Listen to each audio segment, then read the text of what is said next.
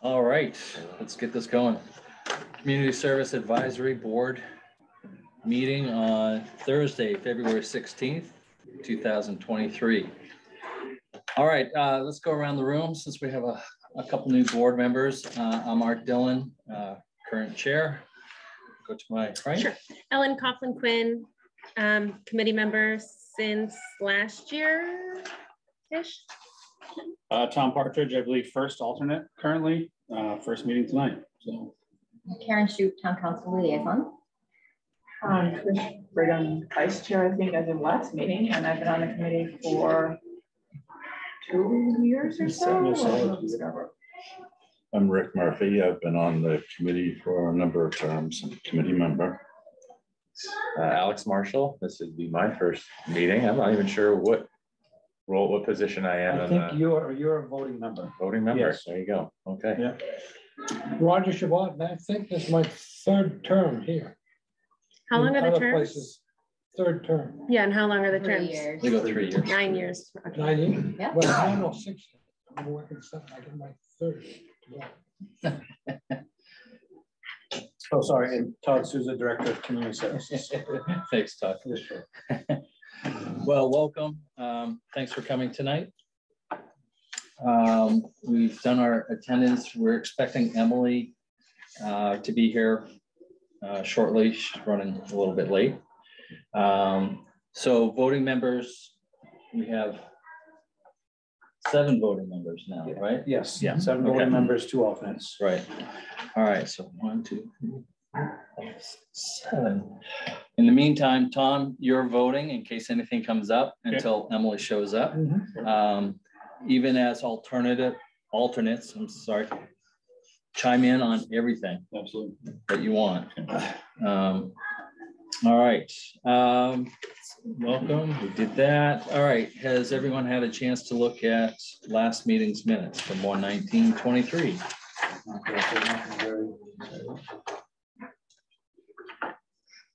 Does anybody have any questions, comments? Do we have a copy of the last? Or was that in the email? It was was, in in the the- I got email. it right here too. So the only action items were voting on the minutes. Uh, we went over resignations. We had the nomination, Art Chair. Ellen nominated Trish, Art nominated Emily, Trish was appointed. Uh, we voted to table the recording clerk for tonight. And then, um, two recommendations came for around the table. Well, one was to put funding in the budget for community center land um, purchase or acquisition, and then, uh, funding in the, in the budget proposal for, uh, grant writing and engagement services were the two other ones. Um, and then we set our agenda items for next meeting, which were, uh, finish the review of master plan and receive any discussions in that timeline. And then, uh, discuss board goals in your packet. You should have received council goals, which I do have up on your table here for folks as well. So that was the uh, condensed approved or minutes version, so. So uh, I'm moved to approve last meeting's minutes. Second. Second, Roger. Again, any questions, comments? Seeing none, all in favor? You can. You abstain? I abstain on That's that fine. All right, thank you.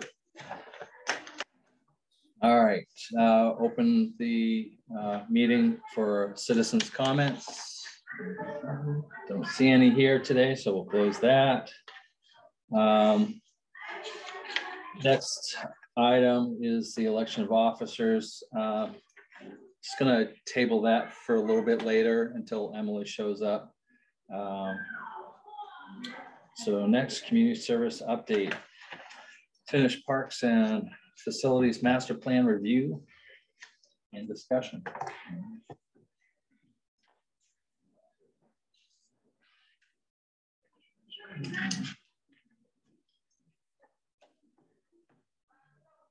So first off, let me apologize. Um, I said I would try to get a Cliff Notes version of the master plan, like where things are in there to get to you.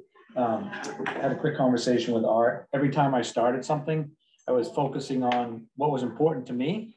And so I just stopped I just, I called Art and I said, I'm gonna stop doing this exercise because I don't wanna drive anybody's conversation or what's important to who or highlight, so, um, um, so that's where that kind of left up, but where we left off, um, was on page eighty-four last time of the document, and again, just high-level stuff of how this was put together, and, um, uh, just comments and things we can use. So this was the uh, maintenance operation analysis section.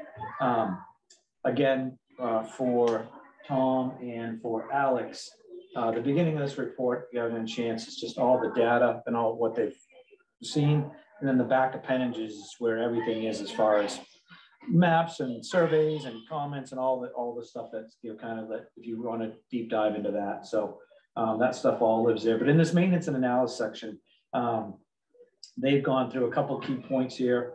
Um, and uh, we shared some of these in the presentation, but um, you know, on average, uh, a, a, typical Parks and Rec department spends uh, anywhere between you know 4,400 or 20 between 20 4,400 and 23,000 dollars an acre on, on, their park maintenance overall.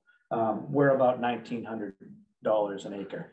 Now, again, without deep diving into that, some acres cost more than others, depending on what we're doing with them, and others are freestanding green. So uh, I, I, think we'll, seeing that, we'll take a deeper dive as a staff to see where we're spending, you know, more of that percentage of acreage. But, um, you know, that, again, those are national standards versus, um, in, every park system is, is different.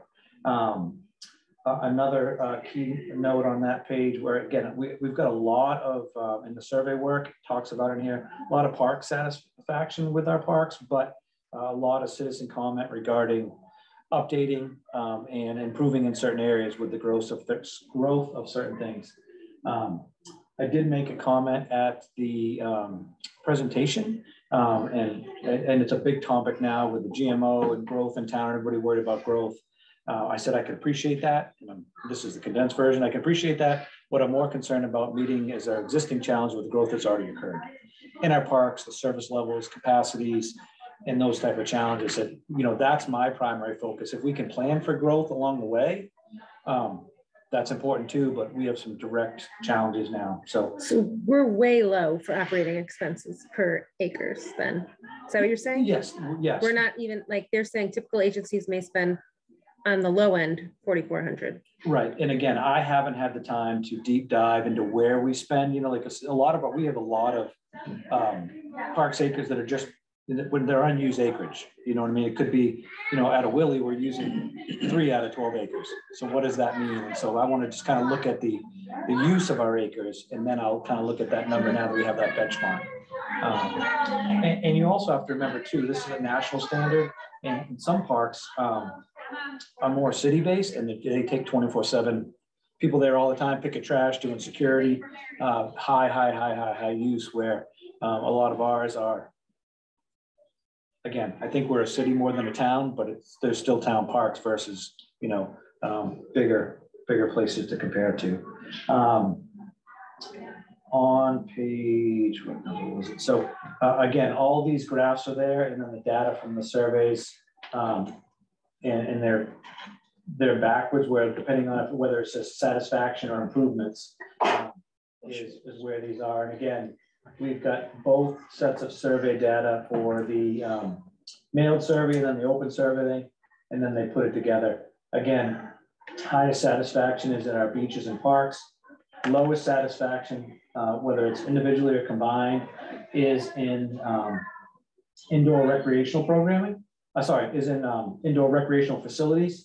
Um, I was reading two things at once, which is never good. Um, but recreational program, you can see um, satisfaction is lower than none of these.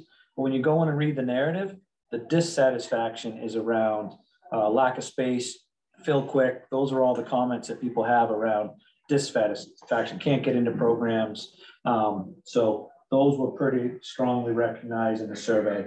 Um, you know, and again, there's these graphs throughout uh, needs met uh, for town facilities, um, improved community offerings uh, was a big one, additional facilities and amenities, uh, more parking.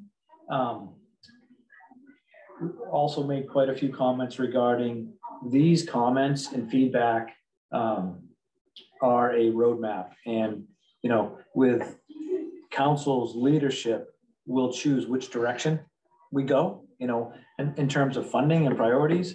Um, it'll be every time we do something, whether it's a park modification and we go through open forum and, park space development, um, there'll be chances for community input, but we'll have to take these and put some sort of working priority into them of what's most important. And we'll be leaning on some of these things to say, okay, these are the things that rank the highest. Um, and I'll talk about a couple things when we get to the maps, but um, so, so that is, um, again, most important future needs, additional trails, community center, uh, make improvements or renovate uh, existing parks. Um, again, it's um, keeping up with things that need to be remodeled or uh, also just because we have three infields at one place does it not mean that we shouldn't change one of those skinned infields to another grass field that we can put lacrosse, field hockey, soccer on versus a, a baseball diamond that gets used three months. Like those type of priorities is how we need to kind of work through that. So a lot of stuff there. Um, on page 84, figure two. Yeah, that's right, just went over. So again, and the way this thing is, these are the priorities. There's still, even down the bottom, there's a lot of high priorities. Um, you know, if you get down into the bottom there, 70% is still add outdoor fields and um, sports and courts. So if you didn't take the time to read down through there, um, this really probably eight out of 10, one, two, three, four, five, six, seven, eight. Seven out of eight of those are high priority in terms of people's desire. Um, and then getting into, again, these are just, a lot of these comments are um, just uh, educational comments regarding inspections or nuisance, and some of it is uh, telling you what the challenges are versus what ours are. Um, again, a big one here is getting into the recommendations. So they give you all the standards of quality, uh, and these are things that they've kind of checked through and we've gone through. Um, uh, again, in this section O, future efficiencies, um, talks about uh, the department uh, considerations uh, for maintenance and efficiencies. Sports sophisticated fields and complex would assist the department in delivering important services. You know, that was heard uh, from a lot of residents during the process, but specifically for my staff as well. It's a big challenge when you drive 20 minutes to drag two infields. And then you got to go drive 30 minutes across town and drag two infields. Whereas if those were both grass and you had a, a facility with six infields, you get it all done in an hour. We spend an hour traveling to do those things. And so that'll be part of our ongoing process is to kind of figure out are there existing ways that we can be more effective with time and staff, but also meet some of these challenges. So um, uh, other talk, um, maintenance team spends a lot of time mowing with and around miles of fence buffers and areas. Um, like I said last meeting, a lot of these suggestions, when they've made them, um, earlier in this whole year process, we've already started to do certain things like um, we're going to be installing some new fence at, at the uh, Peterson this spring. We just had those infields done in the softball field. Um, we're going to be installing fence in front of both dugouts so we can fix the dugouts and not have caged in dugouts. But when we do that, we'll cut 16 inches or so on either side. And so we don't have to mow or weed whack right up those chain lines. So every time we do a modification, it's how do we reduce maintenance time and, and effort. Um, and so we've been doing those things ongoing. Um, again, comments, they made this comment a few times, uh, better storage for supplies and equipment. Um, you know, I, I would agree that we're pretty cramped for where we are. Um, eventually, at some point, I'd love to see better offsite storage with, see. We, thank you. Um, better offsite storage if we had more specific facilities where I my team could leave an infield drag at Peterson and they know they could just get in it and and go drag versus trailer it, unload it, bring it back and forth. Some of those efficiencies. Um, and, and then again, when we talk about future park design, uh, and when we get to a lot of these recommendations, um, this is one they talked about. A lot of our facilities are, they don't have access except for the front. And what the challenge there is that when you try to get to do some ball field work at, let's say Peterson 3, which is on the Eastern Trail, you can't do anything until June, because you're gonna rut a truck up, you're gonna be sunk. There's no way to get to that to get equipment, so it limits a lot of the time where we can do things. So when they talk about modifications, like in my crazy head, if I could wave the magic wand, I would get rid of the infields at Spring, Springbrook, make it all soccer and put five, five fields at Peterson and drive a field right down the middle, road down the middle where I could get to all those parks and do work on them all the time, literally from to Alex versus hopefully I don't get this gator stuck or the dump truck is never gonna make it out there. And so, so that's gonna be part of our planning process as we talk about growth um, before we talk about buying more facilities. So I think we can do that exercise pretty good. Um, this number, again, I gotta dive a little bigger into it, but you know, when we get to the um, maintenance chart, this seven twenty-seven, I mean, that's seven hundred and twenty-seven thousand dollars of identified things on a basis. Uh, and again, when we get there, I'll show you.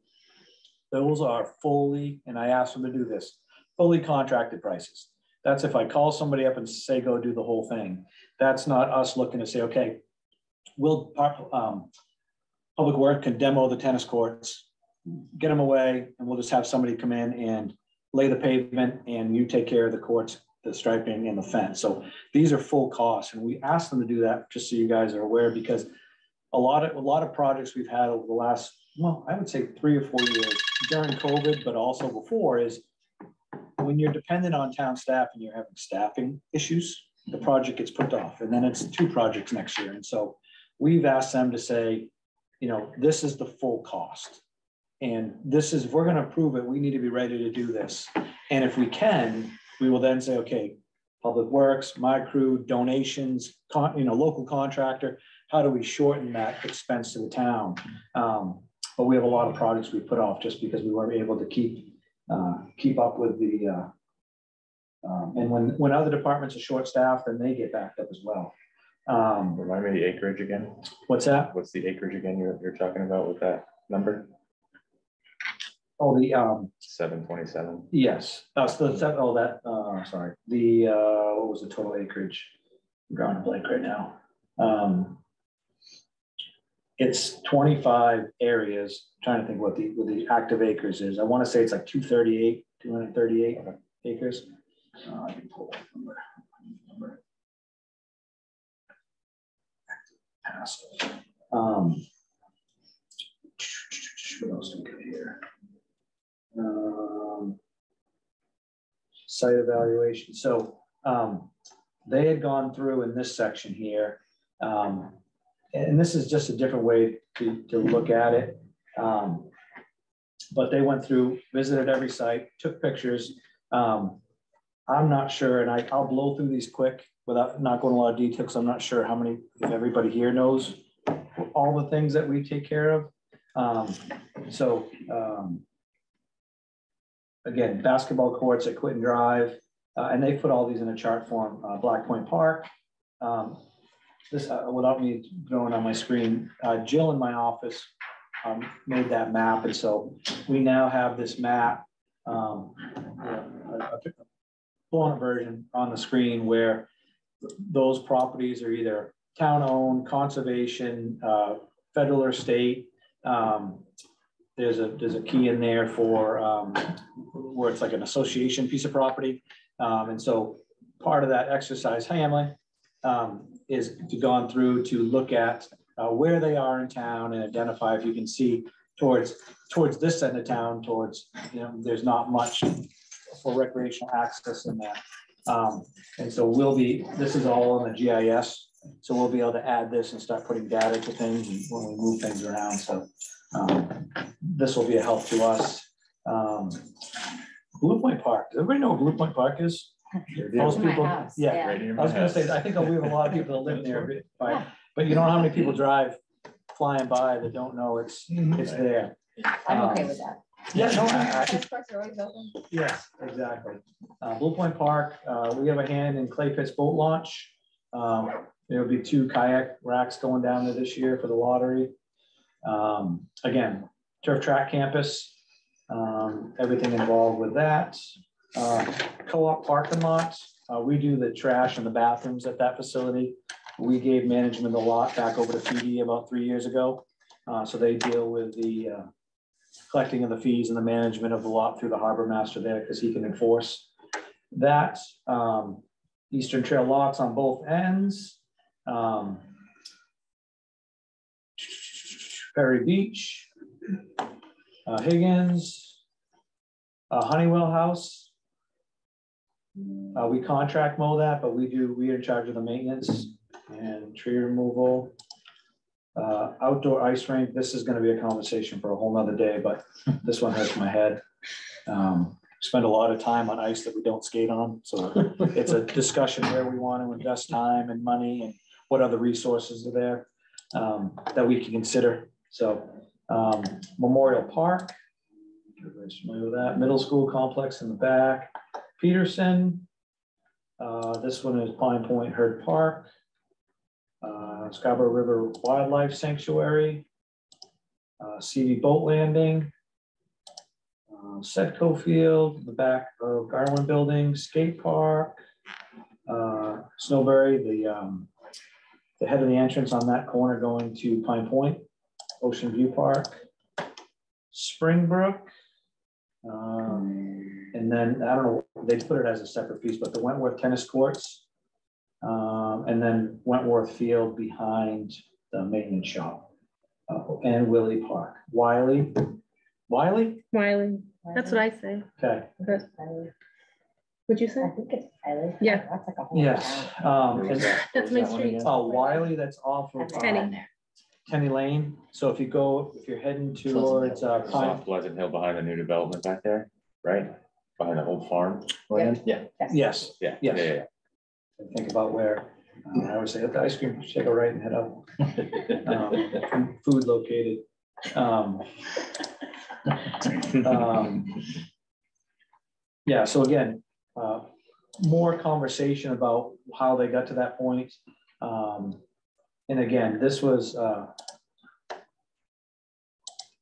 part of their action plan and recommendations, where they go from here and goals. And so um, I like the way these are set up and I, I won't go through each one, but they've given us, like this first one, uh, you know, the goal states continue to improve organi- organizational uh, efficiencies. It gives us, each one has a different amount, but uh, objective statements. And then they give you the data of what they heard, why they're making those recommendations. So then we can go through as a staff and um, uh, figure out how we get where we, you know, where we want to go based on some of these conversations. So again, continue like this objective one point one, continue to enhance and improve internal and external communications regarding department activities and, and services. This is something our um, our marketing uh, group in the department has been chatting about, like, what's the way people want the information? Is it Facebook? Is it email? Is it still print?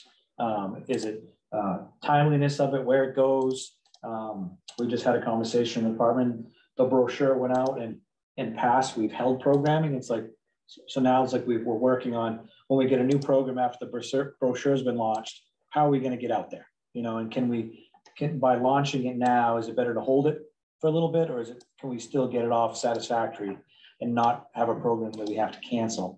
Um, so kind of working through those things now. Um, again, uh, objective number one point two is explore opportunities to hire additional positions. They went through and looked at staff and touched on some of those areas that um, to make the type of recommendations they're recommending, where those positions kind of should be. Uh, I will say some of these um, we've put in this existing budget, and we'll see once we get through the process. Um, working with the school to propose two new maintenance workers um, that hopefully, if everything goes right, it'll be kind of like the IT model in our budget. School reimburses us. Um, but so in case somebody asks you, what you know, the explanation here is the school is not getting two new 80 hour employees.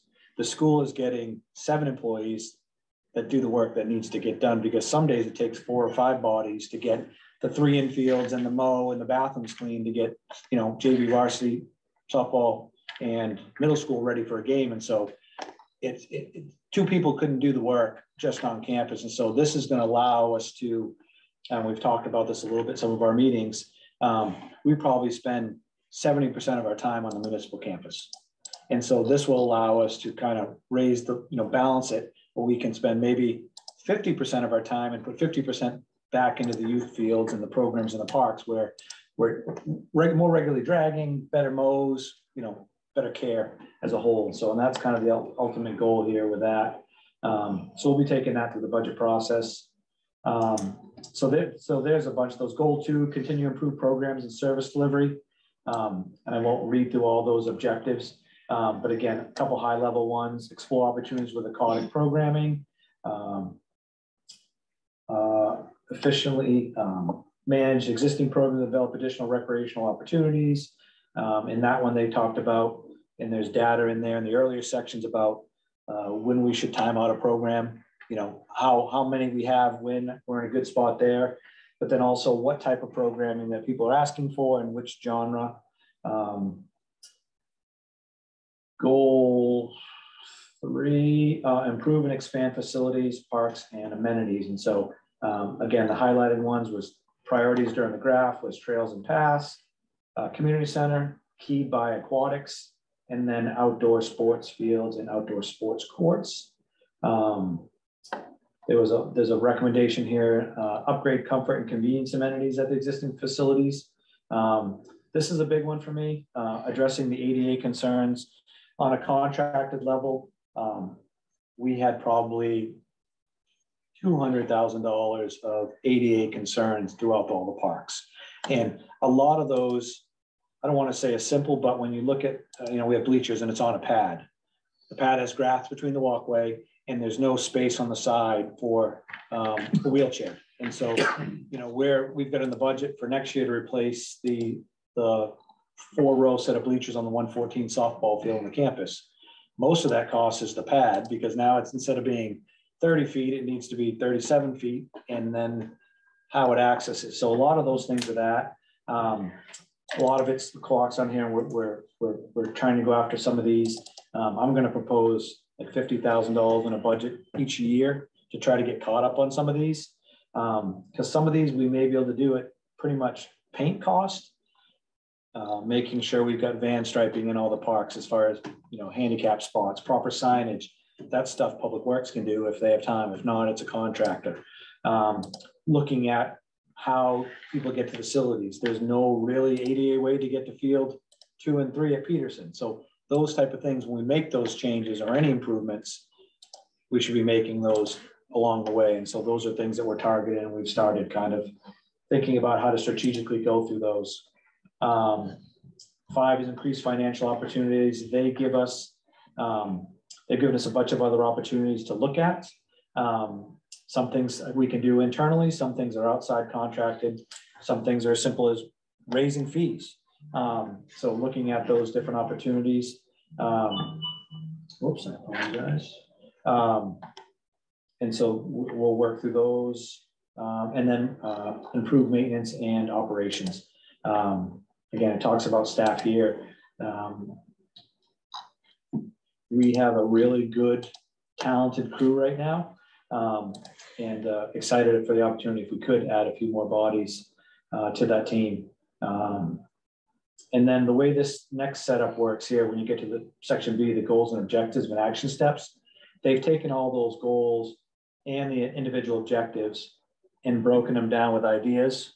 Um, they've given you an estimated capital cost, you know, an operational impact, and then a time frame. So when we pick up, like, okay, we, we think we can tackle, you know, the the marketing goal right now. I can go here, and uh, they've if it's an outside source, they've given us those estimates to say, okay, you need to hire an engagement coordinator or a grant writer, and here's the ways you can do that type of thing. So um, they've gone through and put all those, categorized them, and again in categories.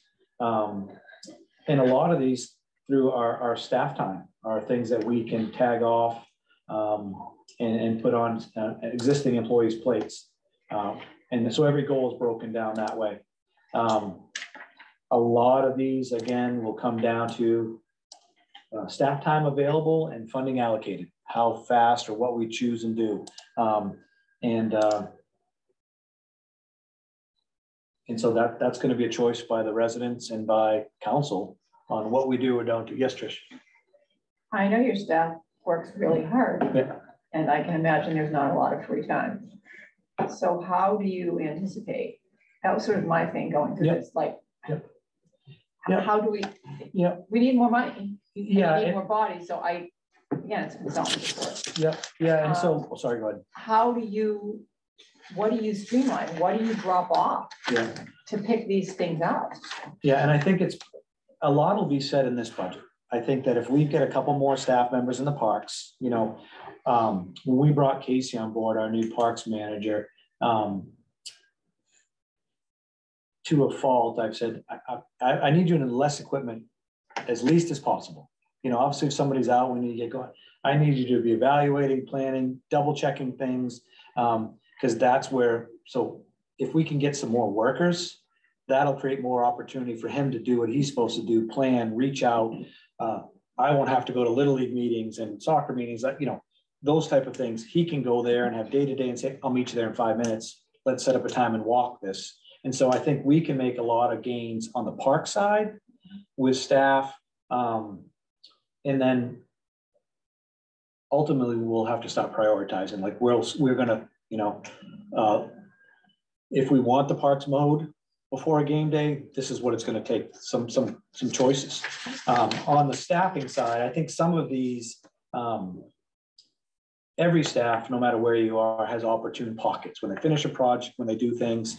Um, so I think that we can tag these some, some often, and when we put the timeline together to say, okay, you know, um, Brandy, I'm gonna give you this project to look at. Um, I need it done in these five weeks, you know what I mean? And give her enough head time so she can be picking away at it uh, versus nobody has the time to say, take five weeks and stop what you're doing. That's a whole different thing. And so some of these may take longer than others. And then we'll have to identify, and I think that's what, when we put the priority list together, what we can or can't do. I can't believe you're still doing passport day. That feels like it's duplicated other places. Um, And I don't know what the lift is there, It's but because there's always a waiting, uh, a wait list for each day, I feel. Yeah. here or Yes. elsewhere? We could do Yes. passports seven days a week. A Yes. lot of places have shut them down. Mhm. And so we've changed, so two things, to I lower. don't our- mean to No, no, no, no, but those are choices, and so those are choices we made where we used to do passports and bring in six people. Get some money. three, four, three or four people doing passports, and then I'd be there making photocopies. We would try to get as many people as we could through the door. Two years ago, per COVID, we said, okay, we're gonna take appointments and we're only gonna do so many. We'll bring in three people, the appointments, and before it was, uh, and now we're only doing Scarborough residents, so only giving the benefit to our residents. So we've started to make some of those where before we would do 50, 100 on a Saturday. Now we may do thirty, but they're all lease residents. And some, it's an opportunity for families because they can't always get here during the workday. Yeah. You know what I mean? So that's our kind of one reach where if you've got a family, you want to take your three or four kids out of school, show up here. And so that's kind of why. Um, so it's a lift. Um, but again, that's why we only do like two or three a year on that. But again, those are, that's an example of how we've downsized and shortened up the scope of what we're doing. Um, and we've done that across the board. Um, a lot of times now we'll, um, uh, block off a whole passport day. We only do passports on Tuesday, Wednesdays, and Thursdays. Um, we'll block off a Thursday because we know two people are away and we can't do everything. So when we get more than one person on vacation, it's like no passports that day or that week because we don't have the staff to do it. So So anyone can walk in at any time and get a passport? no, you have to make an appointment. And right now we're like two or three weeks out to get an appointment. Interesting. So, um, so again, the, all the goals are broken out that way. Um, I won't, uh, bore you with that. So yeah, it's super helpful. And then they give you, you know, again, some strategies here, um, how to implement them, suggestions right down to, um, broadening staff, overall staff understanding, giving the project to somebody that's outside of the division to say, we want you to be in charge of it, be a little more incorporated, get a bigger understanding, create some future growth in staff. Somebody ever leaves, you get someone else that's trained. So they've been a lot of those type of comments. Um, happy kiddos. Um, I'm gonna skip over this trends analysis because this is all national data. I did have a couple of youth sports groups call. And so that's why these are all kind of appendix like, hey, our little league is growing. This says it's not. No, go back to the header. That's why, that's why reading the whole thing's important. It talks about the national trend and that's what, that's why something, you know, tennis may be super popular in other places. Pickleball's rolling the world. You know what I mean? Um, baseball is growing back, softball's starting to rise up a little bit here. Soccer numbers are off the chart and continuing. And so um, we got more flag football teams than we do have tackle football teams now. So those are the type of things that, you know, they give you the trend data, but it's more importantly about what we're doing and what Scarborough is, is doing. Um, uh, so just, I just want to make that comment. Again, we talked about ADA compliance. Where was, I just want to skip down to page two seventy. Hopefully my computer doesn't freeze. Because again, all this is all survey and data response. Oh, come on.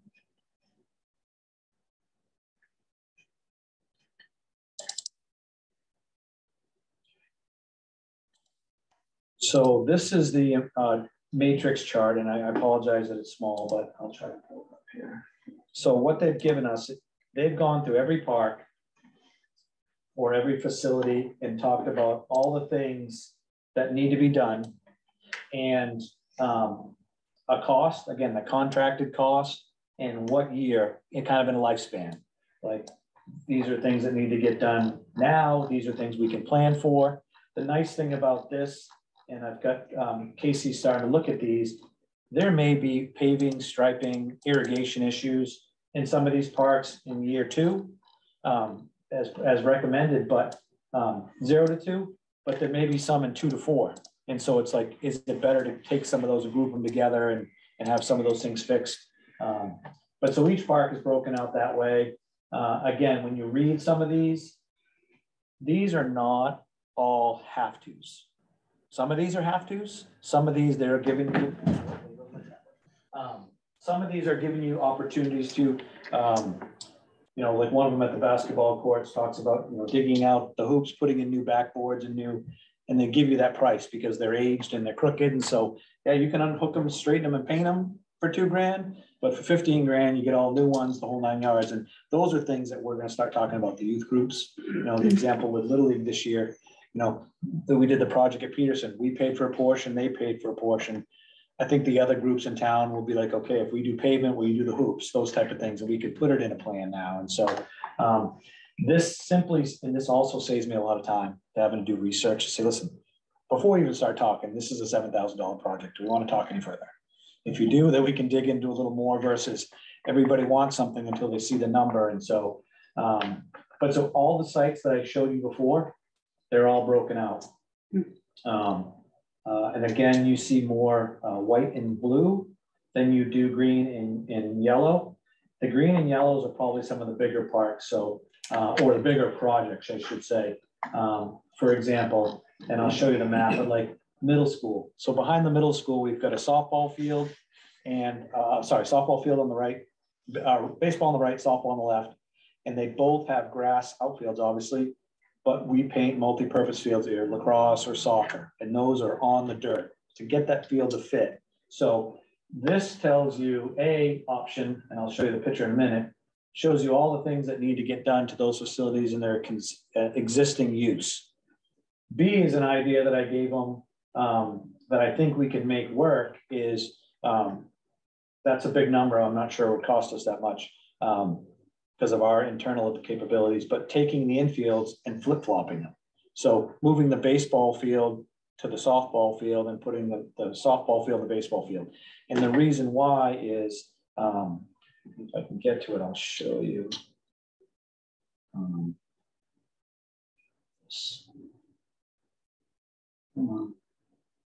um,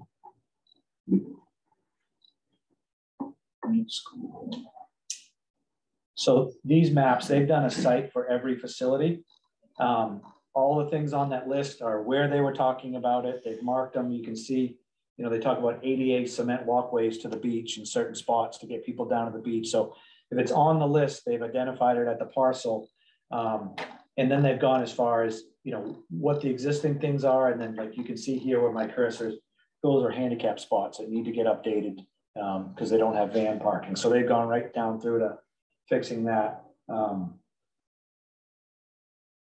middle school, one park, middle school. So here we go. So what I was talking about, existing baseball, existing softball, right here in left field's a vernal pool. You can't go any further into left field because there's a vernal pool there. And so, but on this side of the field, you can go further into this area before you get into any wetlands. And so by flip flopping these infields, now we can get a true, call it 300, 310 outfield and actually varsity or JV could play there and not have to. JV travels to Willie. They don't like playing on this field because it's like two thirty down the line and every other fly ball goes into the woods.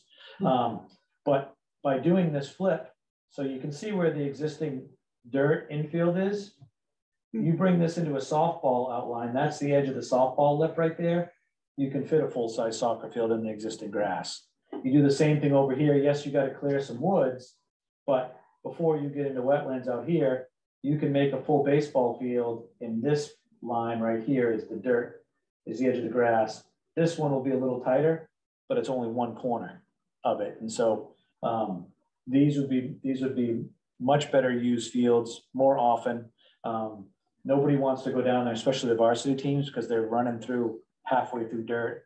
Um, so uh, these are kind of the suggestions they've made throughout the uh, um, throughout the report, uh, right down to you know drainage lips. Cut this, missing an ADA sign here. Uh, this fence rail is broken. Um, you know where's the you know drainage covers twisted. Um, you know again, uh, CHA Jason did a great job. Scarborough resident, um, and so he spent a lot of time in the parks. Um, so he, he did us a really solid. Um, so our facilities that way existing condition and then potential options. And again, I will say this because I know it's being recorded. These are just their visions. You know, when you look at um, Peterson, it shows uh, bathrooms, dog park, baseball field, turf field. Like those are, they were showing you all the things that could fit on there. It doesn't mean that needs to be used that way, but it gets us to a point of thinking outside the box that it's just not the existing facility. And it goes back to the comment of, are we using them the proper way for the needs of today? Um, so I think that's the. Uh, Can you just clarify something? Yeah, for sure. me? Yeah, yeah. Uh, The implement where it has like um, implementation, is that how long it's gonna take to complete the project? no, that zero to two or two to. Yeah. Yeah, no, that is the year we should be thinking about starting that process. Oh, okay. So they went through and, and um, looked at lifespan. Yep. And, and maybe that could be a title there that could ask that, but that's kind of a, a lifespan replacement where they're looking at that fence and then, again, their judgment. We probably get three to five years before we should be budgeting money to replace that whole length of split rail fence at, at Willie or at Peterson, so. um, Okay. Are there, uh, do you know if there are any projects that have money in more than one column? Or is it just like, if it's a two to four year lifespan of that project, that's where the total amount is for that item? Yes, for that item. And what, what, I just got the Excel sheet of that and I've sent it over to Casey. Mhm. What we're gonna do now is take that, spend an afternoon coding, putting another column in and coding. We haven't made it up yet, but like A is handicap. uh, B may be infield work, C may be tree work. So then we can do that and then data sort to say, okay, now we have another way to look at it that we've got 17 ADA projects. And we have 10 infield projects. And when we go to do it, it's like, oh, we can prioritize and break them out by year. But the way that chart is created, that's the funding that takes for that identified project at that facility. And so, um, Has any thought been put into like looking at where the location of each of these things are and then approaching? So for example, the one that stands out to me only just because I live nearby is Yep. there's um uh uh Higgins Beach, Yep. like um I know that this project costs twenty-four thousand, because that's the estimated cost for that one section that would fulfill that community Yep. need. Um, uh, so has anybody looked into approach each of the different neighborhoods and saying, this is what we evaluated for your neighborhood, this is how much it's gonna cost? You know, how does the community residents of that area feel about putting in money towards this project to excel it if that's something that they're interested in doing? um, that hasn't been done. No, it, it doesn't mean that a conversation, I think that, um, part of the, you know, the plan we get going is getting into the neigh, like, when we go to do a project, um, we'll be bringing the Herd Park project back. I've got the, the project scheduled to start talking about in probably two years. Um, but we do go to then to the neighborhood and say, you know, this is what we've planned. Do you want to? Um, we've never asked, It doesn't mean we can't have the conversation and say, hey, you know, do people want to kick in? If you want it done faster, Right, yeah, you know, yeah. We can always, we can always ask the question, but we've never taken that tact. We've tried to show them that this is what it takes. Um, and then gone through whatever sources is gonna fund it. So, um, but we can definitely, Because there's obviously a lot to do and everybody's gonna want everything all at the same time. But if you approach the individual neighborhoods and say like, this is what we've identified in your neighborhood. Yep. If you want it done faster, you can help contribute some Yep. funds to do so. um. So again, I think the heaviest lift for us out of this is gonna be spending that time and recategorizing that spreadsheet. Because then there is cost savings in combining projects, right? So if we take a bunch of paving, um, or a bunch of striping to say, you know, we've got these projects, can you hit them all? Now it may be a number that a company may be willing to bid on versus I'm not gonna go spend twenty-five hundred dollars for mobilize my whole crew to do Peterson Park. So if they've got six parks, they're gonna go stripe, then that's a, that's something worth bidding on, so. um, Having staff now, we can start getting back to a more normal level of operation. Again, I can't say it enough to the people, if you're looking at these maps, don't freak out, doesn't mean everything's gonna happen in that neighborhood, you, you know, there might not be a dog park in your backyard, so just, it's conversational pieces. Um, But so that's what I have as a quick update for the end of the way this report is put together. Um, The only other thing regarding the report, the report is, I, I think, um, and Karen may know more than me, I think they may be scheduled for March first for another conversation at the council level. That I don't know. So that, um, I think is the, the target, and so I'll try to confirm and let you know if that's what it is, so, I asked a lot of questions today. That was not one. yeah, Okay. no, it's all good, and again, I guess, um, we've gotten some feedback from different council members, and I've shared that with, uh, the consultants. Um, and again, this isn't, as soon as this we say, this is our document, that's when the work for us really starts, right? Prioritizing what we're doing, what kind of funding we have, um, everything else that's going on in town. How does that affect where, what? Um, for example, um, tennis courts, you know, um, got a couple different numbers in the budget. Do we completely replace them and do we just fix them to get them through? Um, is that site off the list for a community center? You know, and until that decision is like, no, then we're not gonna spend five hundred thousand dollars on project. We're gonna need to spend fifty to get us five more years, but it'll still be safe, functional while we make these decisions along the way. So there's gonna be a lot of that going on. So um, that is the Cliff Note version of how this was put together. And so I, again, I would ask if anybody has any sort of comments, nothing is silly, um, or if they have ideas, even if it's not about the report itself, but implementation, like Emily's idea, I'm glad, we're always open to suggestions. So um, because I think you're right. Once people start seeing things and we do something in one neighborhood again, we're gonna try to prioritize the most important things um, and tackle those. And this year, it's gonna be a lot of the ADA stuff is what we're gonna focus on, and then planning. So, Nice. so that's what I got for you. You're almost as long as that guy from the, uh, talking at town Oh, council. Yeah, He did an amazing job. I hope people got to watch the presentation. I mean, the fact that he ended up only getting a half an hour, I Yeah. thought he did a really. yeah, good no, job. James, I really like that team. Yeah. They're, they're they're very good, so. Where are they from? Barry Dunn? Uh, BerryDunn, yes, formerly Green Play, BerryDunn, one's from, well, they're both from Virginia, one's Virginia Beach and one's, I forget the other.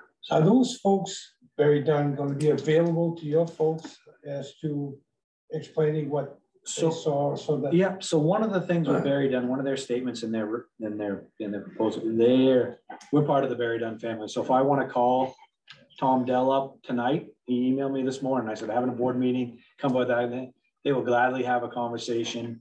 Um, they'll always be available to us. Um, I am trying to figure out how to propose, it might be a CIP item this year, so we can start the conversation, but um, there are certain things we're gonna need planning money for, so I wanna, I'm gonna talk to a couple of these consultants and say, okay, is there a number that I can put in the budget?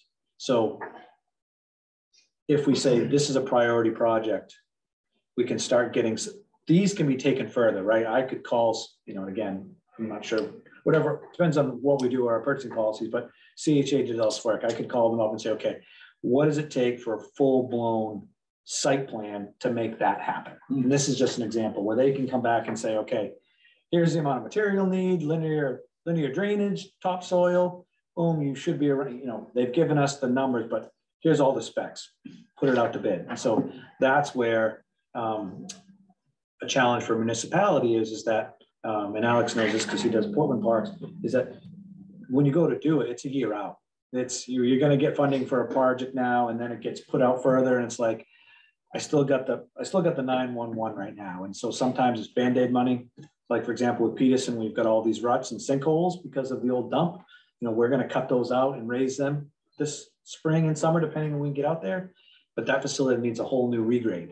Um, but again, part of the process is if we're ever gonna change the use, do we spend all that money now? So it's like, we, we're, we're getting close to being able to say, okay, here's a plan. And how do we drive those through? Um, so we're not reacting to the next issue. So hopefully that's where we'll be, um, sooner than later. So, So how do you, on your last comment, how do you take a holistic approach on projects that are facilities that may be repurposed? Yeah, and so none of the decisions have been made to repurpose. So our goal initially will be to deal with all the safety issues. So I gave the example of Peterson. Um, last year, we went in and cut a new drain into one side because it was just puddling and flooding. Um, and then in the middle of the soccer field, there's a sinkhole. And so now the line goes like this. And so we'll go in, have, whether we have time or we'll hire a landscape company, go in and cut that sod out, raise the hole, put it back.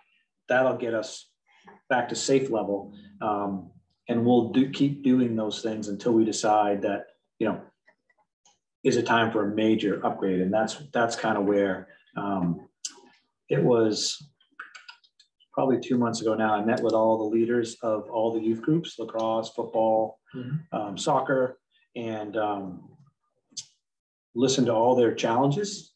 And, um, a lot of them come around facilities because when they're not, you know, if they don't drain well or they're wet, that's, you know, they shut those down so they don't damage the field, which reduces, reduces practice time, you know, they have to obviously take, you know, mindful of injuries.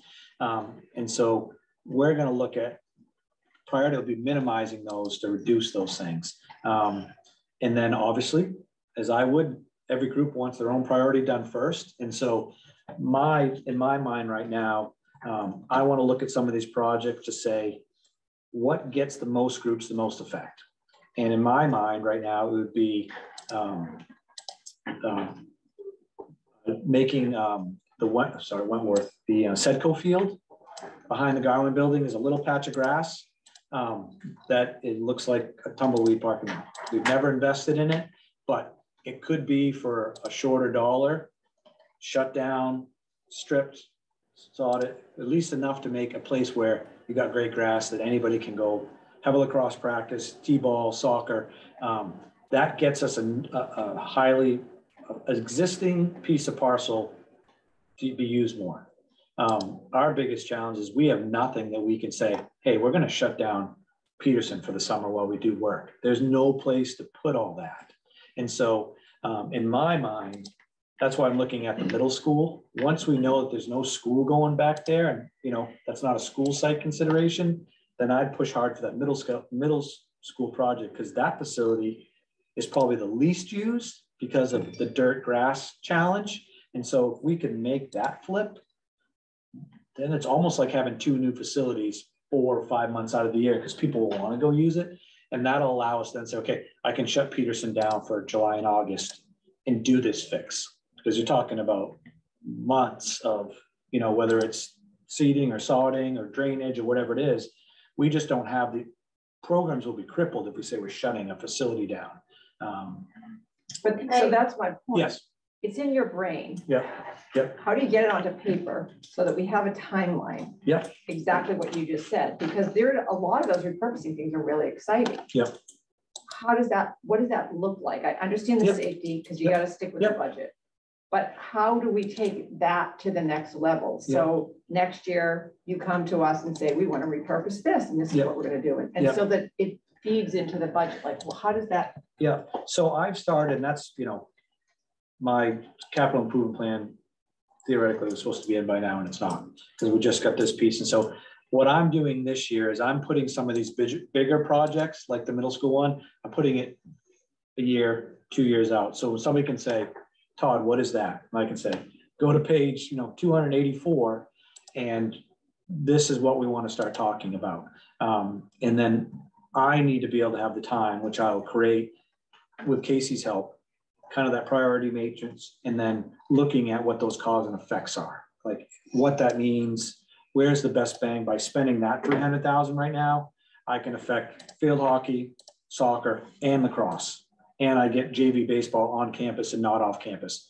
That affects, you know, three, five, you know, high school level teams, JV varsity, and then all the U sports. And then that'll trigger the next one. So that's where I need to take this and prioritize the timeline because it's not going to work. If we can't do C if we don't do A. You know what I mean? And that's so that's where, and they didn't give us that because that's our decision to make as a town, not the consultants. I mean, they could have done that. And that's that's that's set for failure because there's a dollar figure associated with it. Mm-hmm. It'd be different if the town said, here's a million dollars, Todd, build us the best plan you want. I would call them right up and then say, okay, I got a million dollars to do. What's the best way to put this together? Because they can put it right down to signage in the park and grand openings. Like that's what they do. It's hard the other way because we own it.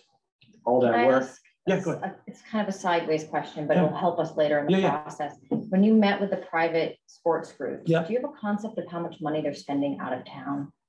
Um, these guys, not a lot because they're all grass. Bas- the inside ones are the ones that spend all the So money. up. Dennis Meehan, every time I see him, we're spending over twenty thousand dollars for indoor basketball.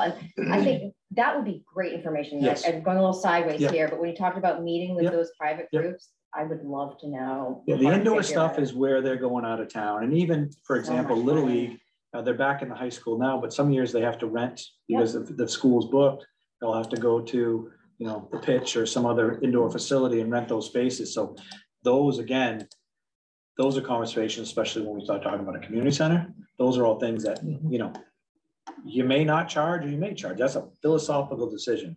But at least the money, if you did charge, would stay in town and you could reduce it philosophically. So. That would be great data to have when you're promote, when you're rationalizing why you need a community center, because it's gonna come down to dollars and cents, it always does. Yes, Yeah. yep, absolutely. Um, and that's some of the park stuff too.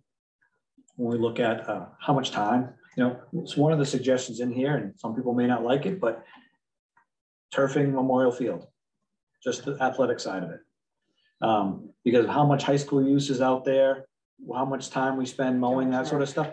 No, I'm not, uh, it's, but, but when they're talking operationally, that's the best bang for your buck. You never have to shut it down, right? Raining, it's draining, you're playing. Kids will not, have cancer in twenty years, Yeah. but that's okay. well, we got, we're using cocoa right now. We, the new one doesn't have, it's all, it's a, it's a wood product. But anyways, those are the type of, you know, those are the decisions that you need to make because we are not, even as big as Scarborough is, we are not athletic land rich. We're not like a Bonnie Eagle or Cape or Falmouth. You go there and they've got fields that are just sitting dormant. And it's, it's four inches high and they'll go mow it, stripe it, and then they'll shut that one down and let it grow and do the work. We are not that community. And so we need to strategize, how do we improve our maintenance schedules, but then fix some of those challenges along the way. So, um, Awesome. Any other questions for the moment? I got a whole bunch, but I'll, I'll hold on. Yeah, yeah, we could, I'm, I'm, I'm looking forward to it. I'm looking forward to it. Thank you, Todd. Yeah. All right, we're gonna jump back to item six. Open up the uh, recording. What is it, it's. Oh, what was it called? The recording Recording, secretary or? Yes. I don't is know. it recording That's the secretary? vacant position. Okay. Uh, we held off last, uh, meeting because we we're a few shy and had new board members coming on and didn't have a chance to talk to Emily as she was away as well. Um, so I'd like to open up the table for nominations, if anyone new or existing was interested in the position. I spoke to Emily, she said she was interested, so I'll nom- nominate Emily. Second. Thank you. No one's jumping? Oh, great. All right, uh, seeing no others, I'm gonna close nominations. All in favor of Emily for the next year. Thank you, Emily. Nominated, second was Roger. Yeah. All right, let's move on to item eight, old business. Council goals.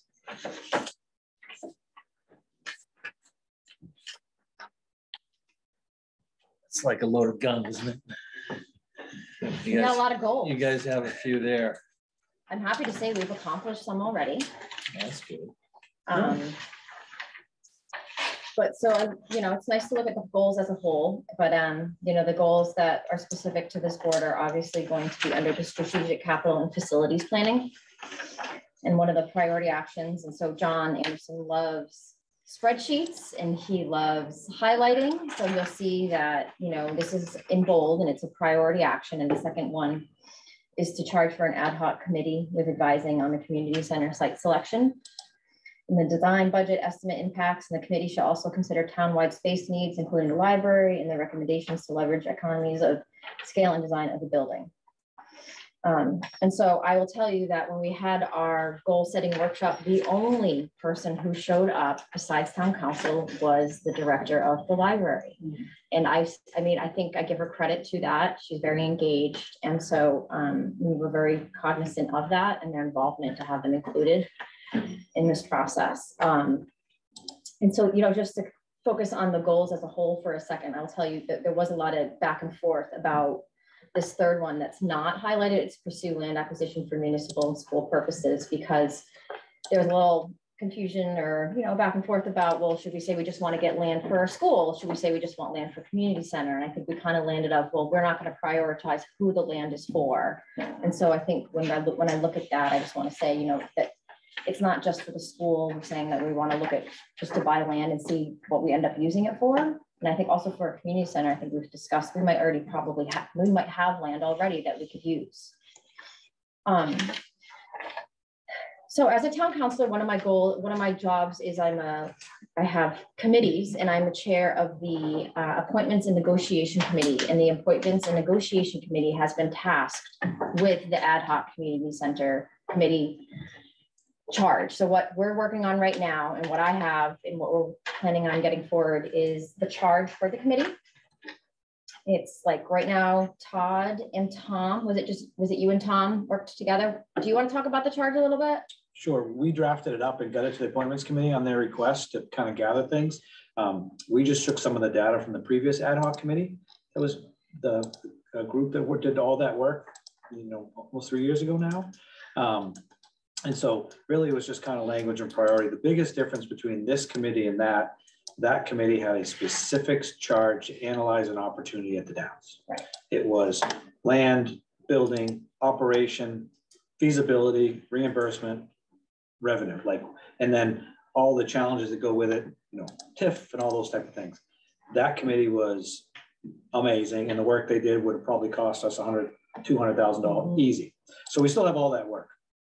We have all the survey work that was done over the past three years as part of the, I'm pointing at the computer like it's still up, master plan, uh, the community uh, survey that was done by council, and then the survey that was done as part of the community center ad hoc committee previously.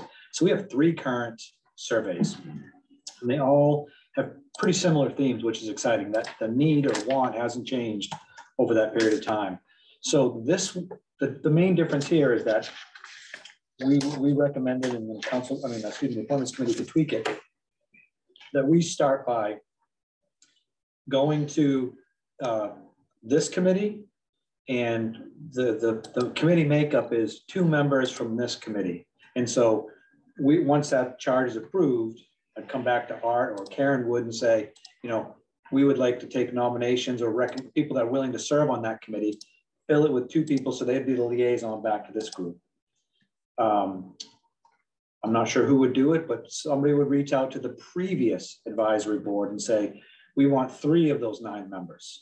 So, and that's where one of the things I was going to talk about tonight was I, because the charge that we were given was saying we're going to have two members from this board, we're going to have four residents that will apply At large, yeah. at large, and then we're gonna bring three from the old ad hoc community center. In my mind, we need to confirm first that three people are actually interested. I already know at least That's two, point. Two do not. They're like, I'm all set. Yep. Um, That's- I think there's probably people here like I'm all set. Yep. And I think one of the other things I really want people to think about, I did an ad hoc for the charter review. It is a commitment. It is, this is a big deal. We need to consistently meet. When you, I mean, when I was on charter review, we had subcommittees and we were meeting. I don't think it'll come to that. And I, I will try to get a better grasp on the commitment, but it is, it is serious. And so I think, you know, I might say, oh, well, I would love to have someone serve this, but they'd be like, I can't give the time. The difference too with this one, and I'll just so everybody's on the same page, is that this one, in my mind, is more about, this committee is going to be the voice of the community to the consultant we hire. We're, we're drafting a- an RFP in the background right now of kind of looking for a consultant, what it would take. The previous board, we met every other week, and some of those people spent hundreds of hours, you know, drafting, designing. This board, I think, is going to be more about making sure that the, the things in your charge are being met and that, that a lot of that work is gonna come from the consultant. Because it's gonna be, okay, we wanna talk about land and design options. Well, they're gonna go do that, bring them back to the committee and we're gonna be like, that one doesn't feel, right. it doesn't look like Scarborough, that doesn't, you know, those type of things. So it's gonna be more about ensuring that the charge of the RFP is being met and that they are representing the wishes of Scarborough you know, and, and where I see the committee being the most support to this project is, um, and, uh, I'll, I'll, at one of our upcoming meetings, if, I, if I can get it on the agenda, I've got Jill working on, um, a vision board of a community center. We've got stuff that I've put together for years, because and one of the things that I'm putting in the RFP is I want a company that has a strong track record of coming in and educating the community on the decisions that need to be made and why you make them. You know what I mean? And I'll, you know, Jill and I met today and um, I'm off next week. And so she's gonna spend some time putting stuff together and then I'll throw words to it. But the first, you know, decision on a community center, what is your lobby like? And what I mean by that is, is a lobby where there's a front desk that's three feet away from the door and that's the checkpoint and like, where's your badge? Where's your, like, that's a, that's a safety gate mechanism. Is your lobby something where you can have 50, 100 people, you show up and it's like, hey, I'll meet you for a cup of coffee or, you know, I'll drop, I'm gonna drop my daughter off and we'll swap, you know what I mean? Like, is it a social gathering place? Um, and then you check in and on the back side of it is where you go to get into the facility with the things that you pay for.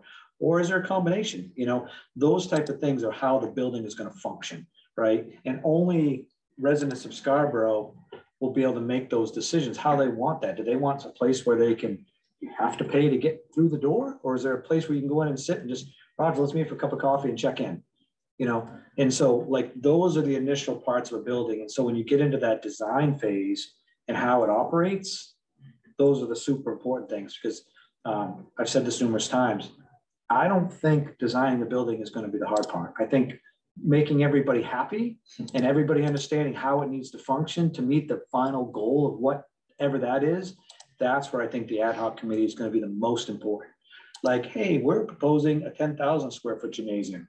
Well, it's got one full court and two sideways. Well, people will be like, oh my goodness, we need to lean the other court because we've got, you know, all these type of things. And then there's a revenue driver to it. Well, if you can rent three courts versus two, what is that projection? That's where I think the committee just ad hoc will be super valuable because that's, there's some things that are break even decisions and there's some things that are community good decisions. And then there's some things that are philosophically like, are you charging or not charging for what or not? You know, past prices, um, senior cost, those type of things. Those are all decisions, but you can't make those after the building's already designed. Because, you know, there's a chart that I have in my office where um, the bigger community centers recoup the most money. Yep. Because the smaller ones don't. Let's say you have one small meeting room. Well, if, if, you know, Emily and the Girl Scouts are meeting there every Tuesday and I come up with another new program, I got no place to put it.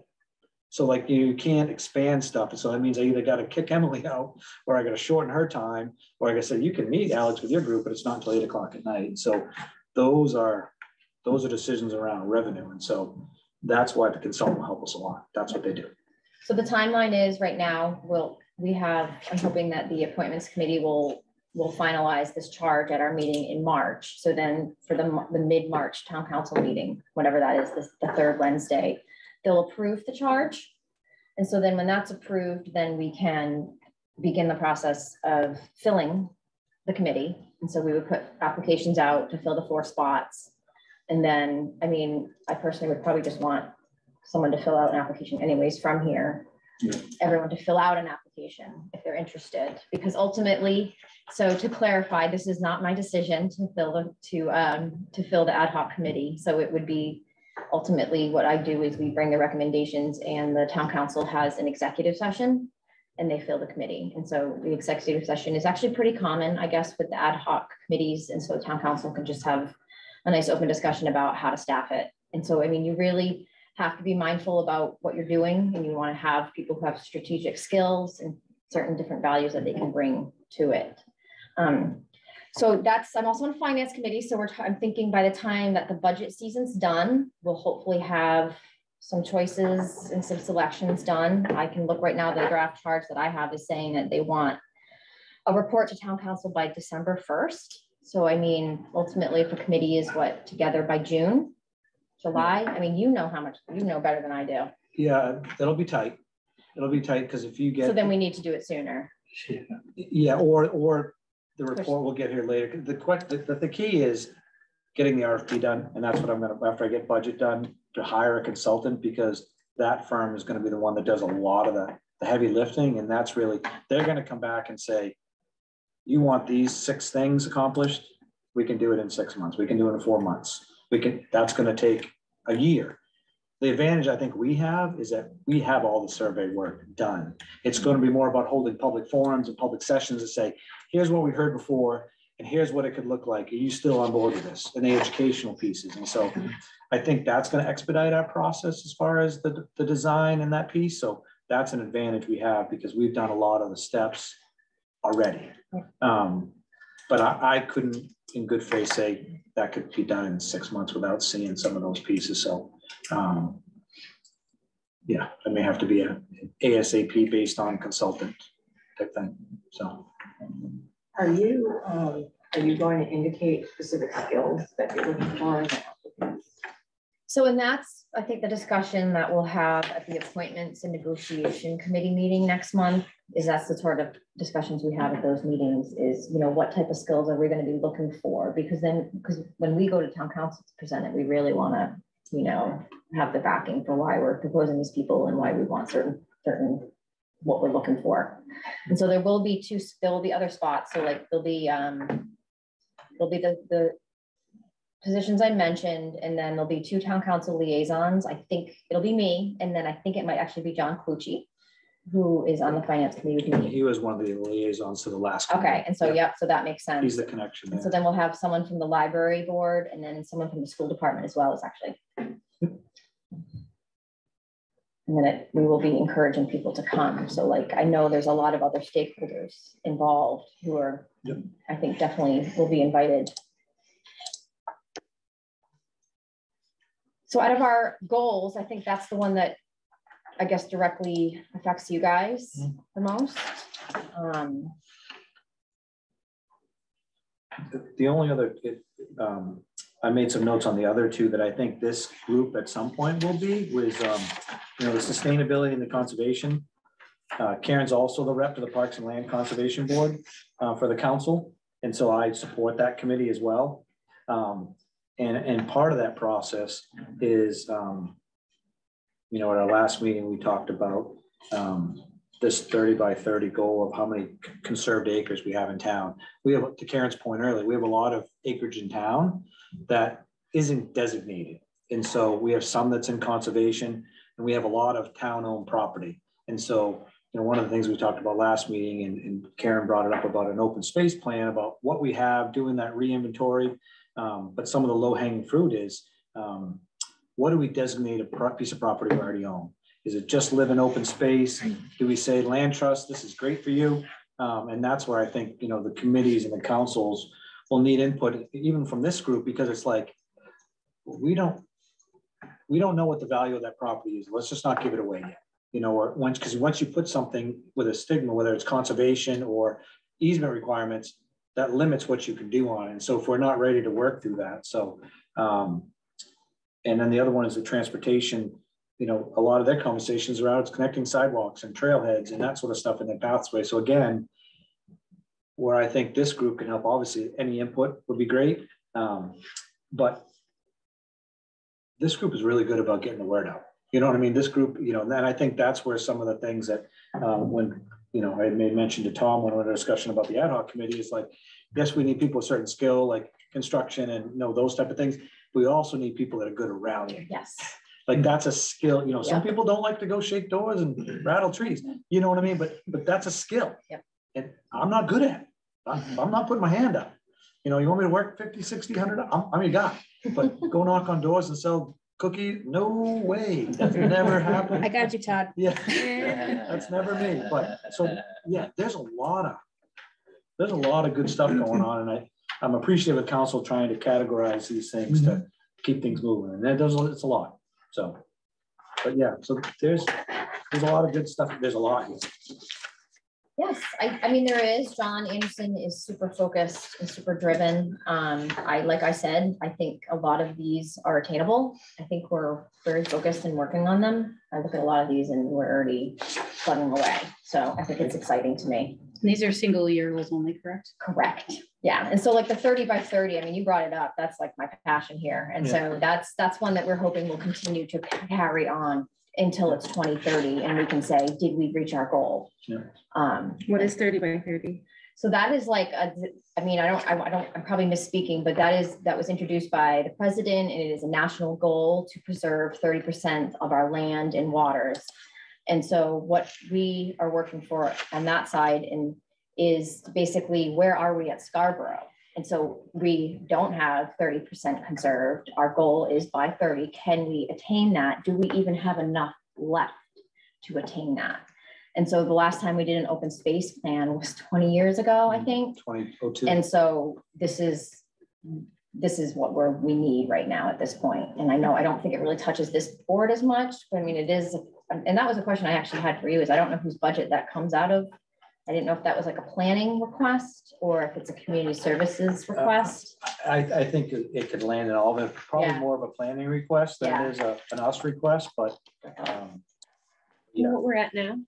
About, I mean, we For haven't what? done anything for the percentage of land. conserved? No, we were just at that meeting. Weren't weren't they saying twenty-three percent? no, it depends I don't on, the- wanna again, the biggest something. conversation is do we include the marsh or not? It that- is. That's. I don't that's think the- we should, but anyway. There's, I, I see both sides of Yeah. things, but there's, that's, I think, that's like the first decision. Yeah. Do we include the Okay. marsh? Because that's a big number, you mm-hmm. know, or do we say, do we have this in the marsh? We know we have that and we're proud of that, but we're gonna, this other seventy percent of Scarborough is only fifteen percent conserved, so we're now how do we get the other fifteen percent? Like, that's, that's the, the exercise, and Karen asked that of all the boards, like, do we or don't we? That's a big decision, because that's a direction of metric, right? That's how you, Is that calculated into the whole city, like the size, square footage. square yeah, footage marsh, in general, like Yeah. without categorizing it? It's already calculated. It's Part of the mileage. And I think, I think, and I, I'm not an expert yet, I think it does have to do with if you're conserving something that's usable. So when you're talking about the marsh, I mean, are we Right. really conserving it if it's, we can't use it Yeah, or build on it or develop it? Right. and it might be that we don't conserve the marsh, but a conversation, which somebody mentioned at our board meeting was, do we, do we count two hundred feet around the edge of it? You know, because that's usable, like you can walk up to it, Right, you know what I mean? You can fish, on- or your homeowner, right? Like some, some of the properties go up to it. So like, what's the metric? And that just has got to be thought out and set, because that drives. It's definitely recreational. Yeah. Use of that space. right. Oh, it's huge. Yeah. So either way, it's a positive. It's just, you know, how, what the goal wants to be. So, Exciting. So what's this board working on? well, I'll let Art take over here, but we said last time that we were waiting to hear what your goals were. I know they talked about the community center being, um, and like I said, I did note in the budget as requested that, you know, I'm gonna put a placeholder for conversation when I get to the town manager level, and if it makes it to finance it or makes it to council, great, but put in a placeholder for community center Why is it just a placeholder? because that's all I can put in. You know, so I'll put it in my budget. I'm put five hundred thousand dollars for a community center land acquisition. It's gotta get by Tom, it's gotta get by finance, and then it's gotta get to council. And it won't become real until it hits the dominoes and biscuits the whole way down the line. Um, but so it'll be one of those things, and at minimum, it'll keep the conversation going. Exactly. And so what, what normally happens is when a department head puts something in the budget, and either if it doesn't make it by Tom or it doesn't get recommended by finance, when we do our presentations to full council, it's usually a slide. Department head recommended community center property, department head recommended second staff person. And it's there because it does two things. One, it lets the council or the finance committee, depending on which level it doesn't get to, or both, that there was a conversation about it. It was a recommendation that we don't think we can financially meet. Because everybody's got all their stuff, right? There's like, I think, fourteen positions being proposed or something across, you know, so that's not all gonna happen. But it's one of those things where you gotta acknowledge it, because if you don't, a lot of things don't happen the first time. Yeah, but it seems like if it's on this list, of a line item, pursue land Yeah, acquisition so- for municipal and school purposes. I can purposes, tell you, last year, town council had goals. but nobody knew them. No one knew them, they didn't follow them. Um, and so, you know, I think we are a different breed this year and we're really focused on this. And so we'll, And there could be some other factors along the way too, is that right, you know, we've got a school build committee meeting two weeks from now, and they're trying, they've got two pieces of property they're looking at. Without misspeaking, one could hold a community center and a school, the mm-hmm. other one couldn't. So if one of those opportunities come up, then that's a, that's a game changer. You know, and so those, there's a lot of other stuff happening that, why that may not need to go through, or, you know, keep going through. And I know the other thing council's done in the past too, is they've they haven't, sometimes haven't approved large items. They've approved them, but they haven't voted them in until later on because it doesn't, doesn't affect the mill rate until November when it's, projects have to get on the ballot for certain things. So sometimes they'll continue that work to say, we'll consider it, but we want to finish this process out in other, other areas. So, um, but I will, I will make the recommendation and it's, it's on there and, um, keep that piece moving like I said I would. So. Awesome. Thank you. All right, our goals. What do you want them to be? I think we should continue pursuing a community center until there is an ad hoc committee. I think that should be our priority until we're told to come off that.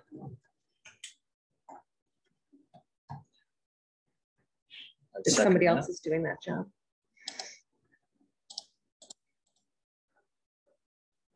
Again, especially given that we've all seen this handout that says very clearly it's a council goal as well.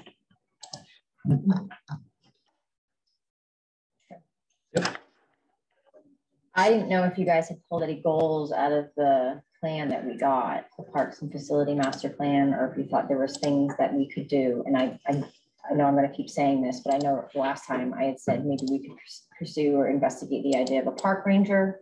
Maybe we could reevaluate fees. So like last night, we, we raised the mooring fees hundreds of dollars and no one flinched. Because they haven't been raised in years and the council completely understood it and we got a thorough report on justifications for raising them hundreds of dollars. And they, and I mean, that's, and I think that can be identified anywhere. I don't know if that's possible here. Todd knows better than I do, I think. Um, Yeah, I, so a couple of those things we've chatted about. So I do have a um, full-time seasonal park ranger in the budget to bring to um, uh, one person to get the program started um, as a recommendation. Um, And so that'll land to Tom and that'll land to Finance Committee. Um, And again, there's a timeline thing, because you need to hire somebody sooner than later if you want somebody doing it during the summer. So there's some strategy, you know, that may have to be an ask to council sooner later, because you're not hiring somebody to start doing work in May. Um, So Would there be an opportunity for some sort of grant or? So, yes, so one of the conversations was, um, there's a couple paths here. We figure out a way to partially, we agree on, if there's, if council or finance and whomever agrees that we should have a park ranger, you know, we could look at different revenue sources that already exist within budgets that haven't been spent. Can we reallocate those for April, May, and June? Mhm. Approve a ranger in the FY twenty-four budget to have he or her work July through, you know, Oc- end, you know, middle of October and then start up next April. Um, that's one way. The other way is to propose it and then go out and build it and then, you know, shoot for grants. Uh, there are, there are a lot of agency grants with the state that may be able to fund some of these, so it may be something, or an option three is you get it going and you work for funding for next year to offset it. It it just, my, I'll be honest, my thing is if we can't get an advertisement out in March, we're not gonna, we have to build the program, train the person, you know, create what the program is, make sure that he or she is trained on all the beaches to be able to put a good product out. Maybe a little later because there'll be one person, they'll be evaluating what he or she's gonna do. Um, But you can't approve it in June when the budget, so again, it's a timeline thing. Um, And so, uh, uh, that's where I think in the next month or so, when budgets start hitting the finance committee, whether that look like.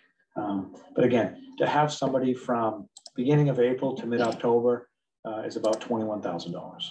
And that is uh, materials, uniform, gas for the vehicle, that's, that's, that's everything, you know, um, uh, publication stuff, just, you know, five hundred dollars for printing the handout stuff like, so that is one person, you know, um, and then the ultimate question, is then can you hire the right person?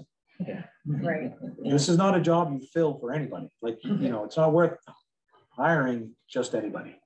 You know, he or she has to be able to make a difference and prove the program works, or that is a challenge. It's a challenge. So, So I, I'm on board with that, but what do we do to help that? I think it's, That's, there's nothing we can do if he's proposing it next month. Yeah, There's no, so what I was thinking was we create the data to support that. So let's say that fails Yeah. and they say, we don't want to do it. Then I think, I think it's worthwhile to dive into what I was saying is let's show them some numbers, what the police are doing, what the complaints are, what the issues hmm. are. And what people want from Scarborough Right. And do that. Um, I'm gonna support it, but there's nothing behind me supporting it come March. Right. And so I'll just be up there going, I'm at these meetings, I think we should do it, but we haven't really done our due diligence. Um, and so, you know, I think it's great, we're gonna do it. If we don't get it, I think that why I was thinking that's something that we could spend time on figuring out, how do we bring this to us? Cause it is, it's super hard. Also finding the right person. I, you know, I was meeting with the police chief and talking to him about that stuff. I don't know if you could somehow combine something with them as well. I mean, I feel like there's a Yeah. million different things you could yeah, there's internships we could look at, Right. there's schools, for people Mhm. coming out that are looking at. Yep. It's, it's, the difference between this, the challenge of the PD is reserve officers. Nobody in this day and age wants to be, reserve. It's just, it's a challenge, right? You, you see the news all the time. This position is more of an ambassador to education and outreach. Um, and it's a different tact. And so I would hope we'd get some other candidates. So if it doesn't make it through, then that's definitely, I think, something we can work on. If it does make it through, I think it's something we can definitely work on because it will need to be evaluated and analyzed and be like, okay, if we had another twenty hours, what would that mean? You know, if, if we could, we only got to go to three of the eight parks, you know, three beaches and five park, two hours a week, like, you know, those are the type of things that, you know, for future, um, whether that's, you know, at the beginning or in the middle of it, I think that's outreach stuff. So, um, But couldn't, couldn't we, uh, say, you know, we want a park ranger and how, how the town could benefit, uh, a way to support it would be carry in, carry out, for instance, you, you're gonna have some, uh, in all the parks, not just, not just the beaches, but in all the parks, so you, you would eliminate a budget that you have of outside people coming in and picking up the trash. Yeah. There are some places they need to work, but, uh, uh, I mean, to pick up, but you, you would have a big savings there. yeah, you could tie it to initiative, you could tie it to, you know, like a carry and carry out initiative. Yeah, But again, it's, we need to spend a little more time thinking about that impact of, you know, before you take, take a, a contracted service away for, for, for trash or whatever to be like, what does that cause and effect? Yeah. Um, So this is, yeah. this is, gonna be- yes, you're thinking more of an interpretive ranger as opposed to an enforcement ranger. I, I think, both, a mix of both. so I think the, the conversations I've had with PD and past years, there would be some value in being able to write a ticket. Oh, yeah, absolutely. You know what I mean? Sure, But it'd be a matter of how far do they go before they do that? You know? yeah. I think it's a good line of first defense with some of the stuff they're dealing with at the beaches and parks now, and just the population is just more people. But they can't, you know, they're And not, There's models, the they're not the Portland hat, Kenny police. Bond, so there's a lot of, and they're all doing a little different. Yeah, Yeah, we started with one. And uh, and then it morphed into, now we have two full timers and, uh, you know, six seasonals that join them. And I'm asking for a third full timer because the need is just so extensive, but Or Ranger. you're for talking about? Rangers, he runs So, yeah, so- so it's being su- very successful. It's very successful, but you can use it in a variety of different ways. So we're faced with some pretty significant homelessness challenges, Mm, yeah. which is a mental health issue for my staff. And Mhm. there's, a- that's a whole other topic, but um, in terms of like education and interpret, you know, in- interpretive programming and, and getting, you know, working with, it's almost, it's almost like another rec programmer for you to go do naturalist work out in the parks. And, you know, you can kind of tie it into the, into the recreation side of things to, to get kids and families and people out doing these fun walks through the woods and learning about the trees and, you know, mushroom hunts and like, there's all kinds of different things you can do with a ranger. And they, they can be very skilled and educated um, in that field, but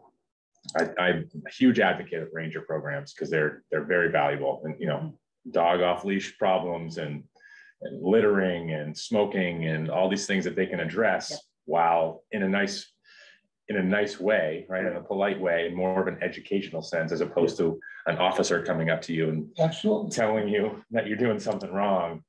Um, it's just, a- it's a, it's a softer approach. Yeah. Um, but they're it's extremely valuable. So I would love to see, love to see you get one of those. That'd be, that'd be great. So. I think it would be interesting too, this whole thing takes money. Mm-hmm. And no one wants higher taxes. I hate to sound like a cynic, I've gone through this so many times before. One of the things we talked about last week, last time, and you made this good point, was fees. Mm-hmm. So could another goal be sort of, we talked about a grant writer, which was glaring in here, and it was like staff time. That's Yep. why I raised that question, like, no way. Yep. You can't have one of your staff people do grant writing. Yeah. It needs to be done, but I'm saying they're already devoted to their current jobs. Yep. So is it realistic that we, without getting in, like, looking over your shoulder, but looking for other ways or alternative ways, evaluate the fees? Can we raise them? What do they look like compared to other communities? Are they, uh, uh, and one of the other things that we've talked about too, the philosophical thing, when I was reading through the program, there are options for some of these program, other programs. Do we need to do those? What would you charge? So maybe the, because just listening, we're hamstrung by the budget. Mm-hmm. We're kind of stopped until we get money in the budget. Are there things that we could do otherwise? I know you guys don't like it. I, I just, I watched the coastal harbors. They reviewed fees and they did, that's, that was a very board specific task. And that's what I think these boards are for. So I'm not saying we can't discuss the community center. I don't know where to take that discussion, honestly, at this level with this board, I guess. I mean, we can start whatever is gonna lead into the ad hoc. Um, But there, there, I will say, we've talked about, one of the goals we talked about, even though it wasn't an official goal, was more unification and collaboration among all the boards and the Right. communities in Scarborough. It's very disjointed now, right? So it even, we know we want a community center. Can this board start to collect data that they can feed the ad hoc committee and start to put the feelers out to other communities and start to collect data? Yeah, I mean, I, I'll just tell you that someone came up to me after the town council meeting last night and they're like, I'm for a community center, but I don't think the taxpayers should pay for it. But to, like, Hello? but you know, I'm like, that's great. But as you said, the, the more bigger you are, the more money you make. And so to me, that's why I asked, how much money are we, are we spending out of town right now? Because, you know, my daughter's just starting swim. We're driving down to UNE Hmm. four days a week. Mhm. That can't be cheap. No, and I think And I think your numbers, your advocates come. No. I think numbers, Yeah. but maybe putting, I'm, I'm just, maybe putting those numbers together might be helpful. I don't know if this, I don't, I gotta look at that chart for the ad hoc, to be honest. I'm not, I don't, you know, I'm not sure if that's part of it. But I think, Well, we can do it even if it's not the ad hoc. That's It's why right. we're It's here. it's part of the RFP for the consultant mhm, to look at or confirm those things because, you know, as far as validating competitive, you know, inside and outside, meaning fitness, you know, not competing with private businesses. So, but I think those, I think all those things would be greatly appreciated. Again, beach fees, you know, that's an ongoing, because I've I got the Ranger and the be beach good. piece, and that got shot down like a sinking ship last time for a lot of varying reasons where, you know, diving in strategically to say, okay, here's the number of passes we do by this fee rate. We're protecting Scarborough residents. We've increased our fees. We can meet that need with this new funds. Um, When do we have to have the beach fees in by? Because that's gonna come up pretty soon yeah, too. I, I don't know, I'm being honest, if, if that would strike, you know what I mean? It, What do you mean? It's too late in this? Um, I think it's too late. Last year I brought it up in September because, you know, it takes the time to go all those things. And then selfishly, once they're passed, I've got hundreds of hours of sign changing, ordering signs, educational flyers. We sell beach passes April first, Right, ordering stickers right now. So th- that's what I started last time we did it in September. And so if it's Yeah. something that this board wants to take on as a whole, that would be, I will get you the data you need throughout the summer you know, and then you can make, you know, work through it on the fall, make a recommendation, because then it needs to hit what, if our ordinance needs to be changed, or, or fee structure, I mean, now what's the schedule fees, excuse me? Those things take time to work through, um, but it'd be nice to know in my planning process that, okay, that, that's why I did it too. I knew in, Jan- I was hoping I would know in January that the fee is going up to X. There's a potential for another hundred thousand dollars in revenue. Okay, let's propose a second ranger, because now I can fund it let's, you know what I mean? Those type of Absolutely. things. so are they staying the same then for twenty twenty-three? Or will they go As- up by inflation? No, as of right now, they're staying the same. Wow. Can't we put them, can't we So, decide but- right now to Well, even do no, but what we could do is spend, the- well, he- what he's saying is, he presented it last September, so what if we spend the next couple of months? I'm actually really curious what people charge, like going to Old Orchard and stuff, like, are, are we comparing to that? Because Yeah. I think if we maybe spend this summer comparing what the current rate is for this summer, and then come back and say, holy cow, you know, look at, everyone raised their rates, they're way above us. Then you would then maybe in September, when we're not so bogged down, start that process. Right, be able to, be able to um, start the council process to get it changed. And that's what it, it's a multi-step. I mean, it's the presentation, it's first reading, second reading, because it's on the schedule fees. It takes like two months to get it.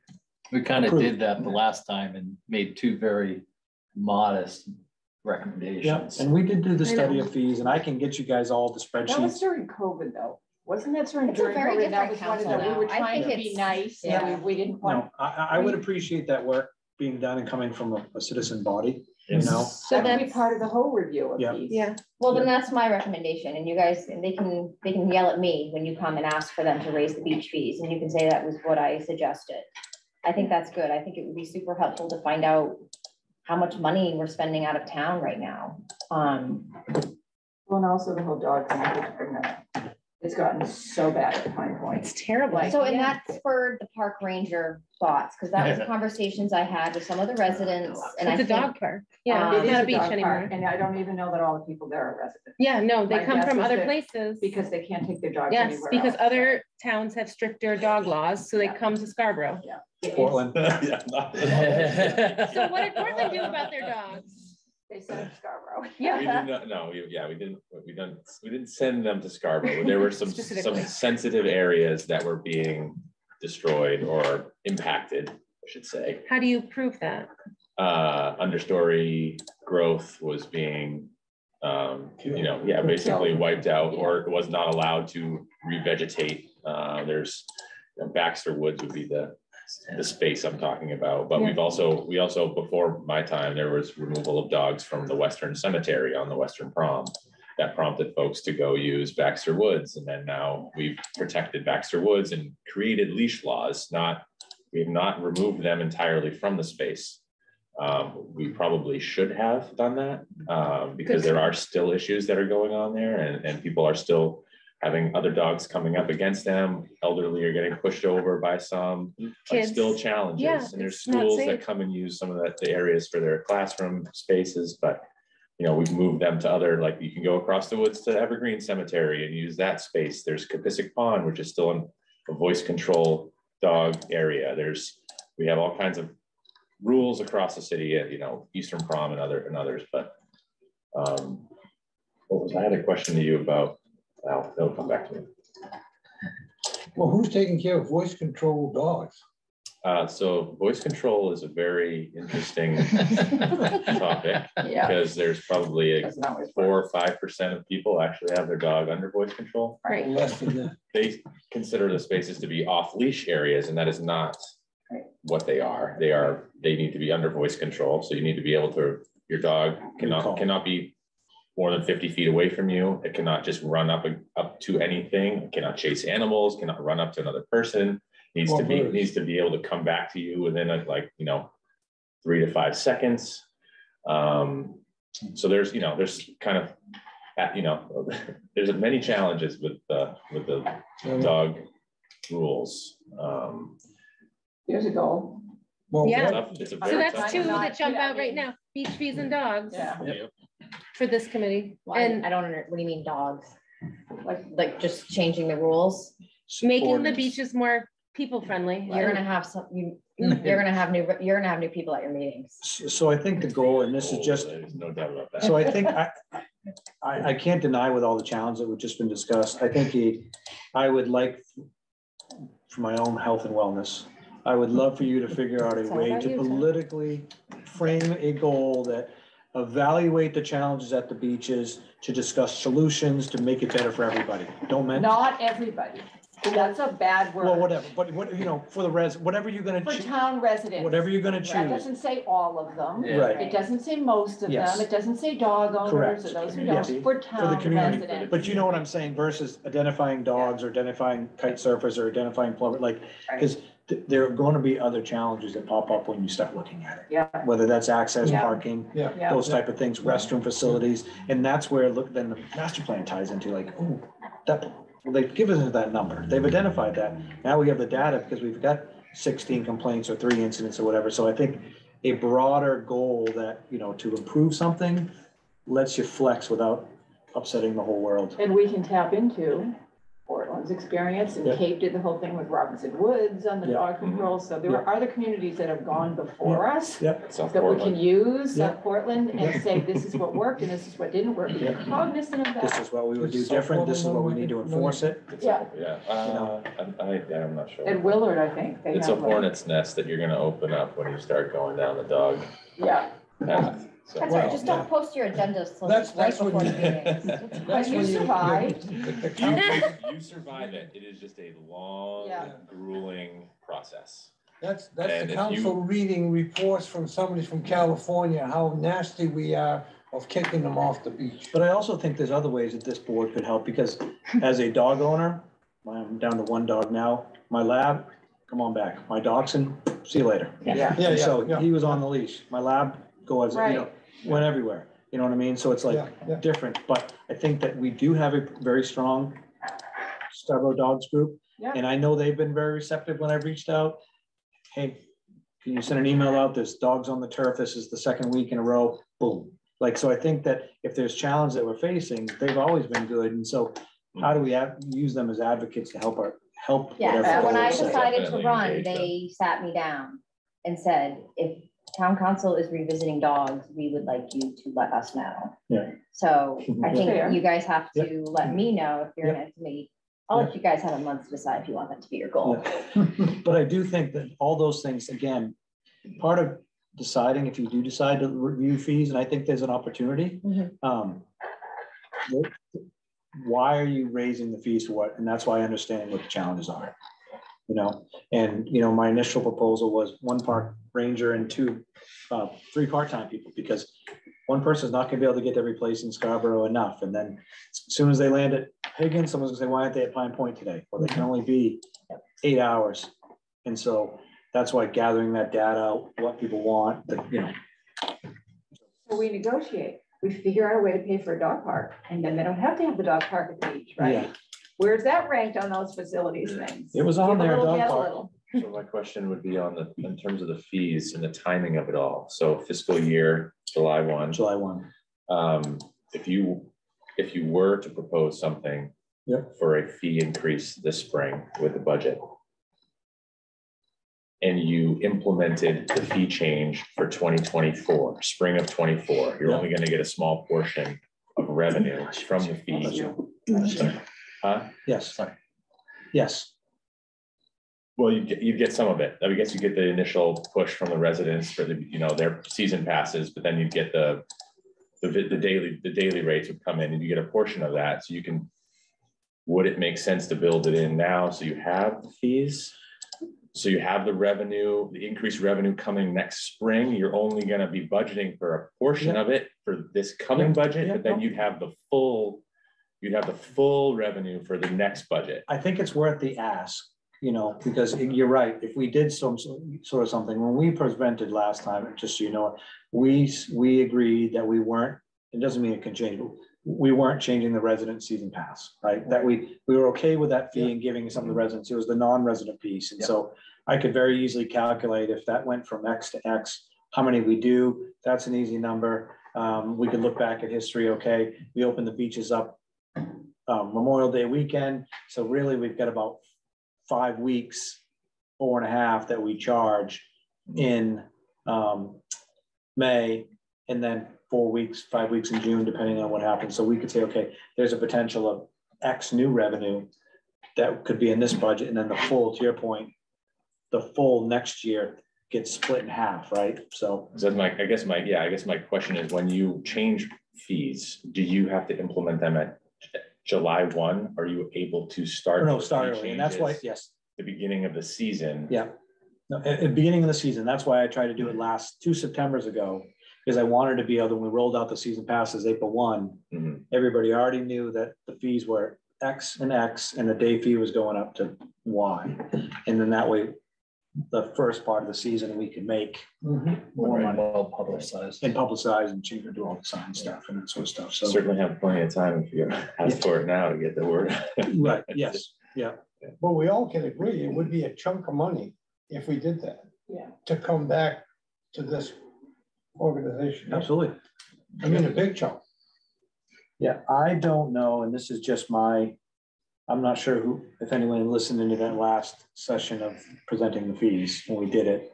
Uh, and again, Karen's point, different board.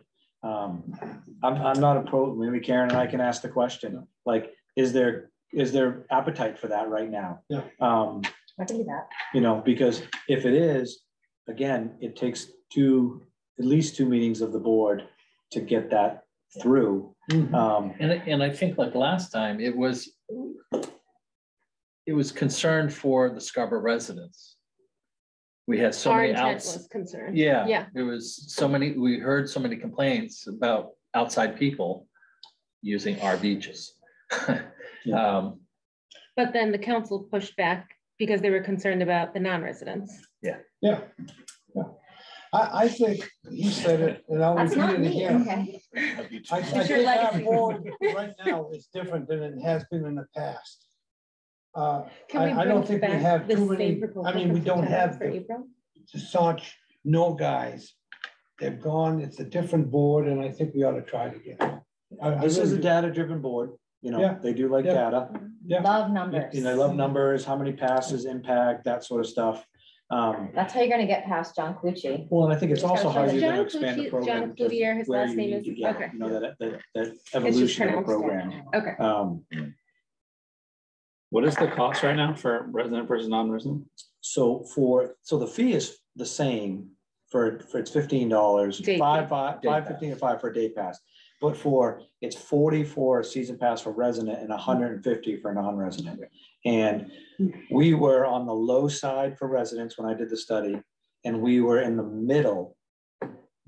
The only ones higher for us were like Ogunquit or some of those For the southern, day passes, no, for the season pass. So for one- residents. What about the non? So resident day passes is all the same. We've Right. got one fee. Yeah. The theory is if you're a resident, you don't go buy a forty dollar day pass, forty dollar season pass, then you don't go to the beach enough. Like, Yeah. and so, um, and the one fifty at the proposed, you know, when it was, when you went to one fifty and fifteen, because it used to be ten to the fifteen, that told somebody, as soon as you come to our beach ten times, it makes sense to go buy a season's pass. And by forcing people towards a season pass, we may make a little less money some, you know, depending on the time, but less cash handling, it's less Right. transactions, it's all those type of things.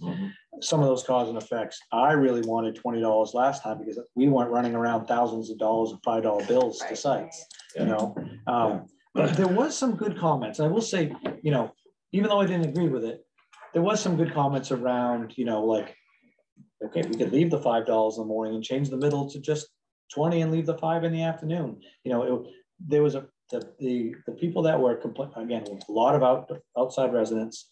Um, and it was that morning time value to them. That's a choice, right? Yeah. You know, so, um, but there was a lot of operational things. Forget getting more revenue to, to fund something. When was the last time the fees were raised? Before COVID, three years ago? Yeah. Because it were- I think it was ten and I moved it to fifteen. Yes, But again, it was, that day fee is not too far out of line. You know, what I mean, the, the ones that throw the scope out, it's your OOBs, because a lot of places have private lots. Most of OB parking is private. yeah. You go today, it's fifteen, you go on Fourth of July, they're saying fifty bucks, like, Right. it's, it's, it's, it's different, you know what I mean? So, um, a lot of impact that we don't consider is a lot of our bathrooms gets used by the neighborhoods. You know, it's just not the three hundred cars that go into Pine Point, it's everybody that lives there that's using the bathrooms. So there's, there's a lot of factors into what that money goes to support. Um, and a lot of people don't realize that the beach is a self-funded operation. So when people say that my tax dollars pay for the beach, I say with all due respect, it's self-funded. Yes. So when we want to make these changes, Right. you know, my goal is to be able to raise our reserve account. So when we go to do the Pine Point thing, I can say, hey, we've got four hundred thousand dollars a year. We can do forty thousand dollars for ten years out of that account. The town only needs to kick in the other half, like let the fees offset some of those infrastructure costs. So. Before we wind down, I would like to finish up on the goals or at least make some more progress. In our plan, um, a highly rated goal or interest is the connectivity of trails, kind of falls between the cracks. There are three different committees, is Parks and Conservation Land Board, Transportation Board, and this committee that might be involved in that, but it ranks very highly on this, on the survey. It's like 91, 96 percent of people favor the addition of, the wording is um, trails and paths that connect throughout the town. And so we have many properties that are scattered around the town. And it would be nice if we could work on paths or trails to connect those and even sometimes using the bike to work or bike to a store or something. So um, that would require a lot of coordination and collaboration with other stakeholders. But I think that, you know, we ought to, we ought to have a hand in that. Personally, I, I think that's a desirable goal and it's articulated here. So I'd, I'd like to, I myself would like to see that on our list.